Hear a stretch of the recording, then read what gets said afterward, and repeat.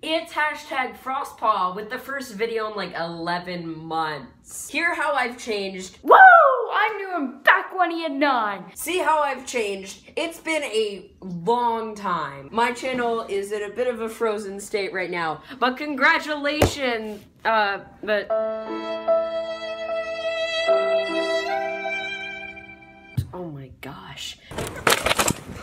I have crippling depression.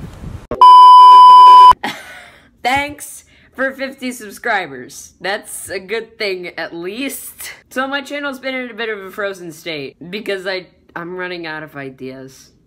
I have cri- I'm just doing like one Swaggy G a month, except it's one in three months. Logic.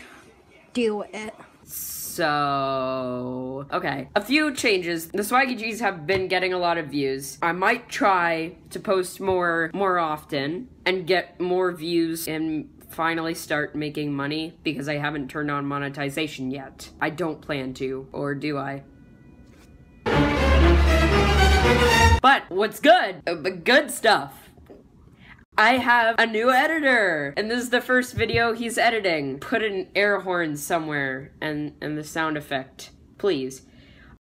Some of you may have come from his channel. He is Too Many Edits. Too many edits. Who just hit a thousand subscribers on Thursday. Oh, and I haven't even mentioned the main subject of this video. Like, it's my channel's one year anniversary, and that is pretty cool.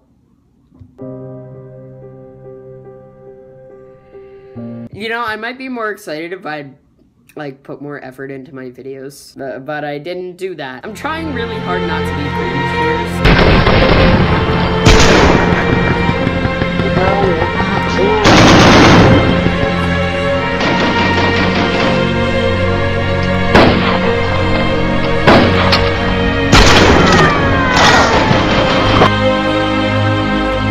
Don't roast me.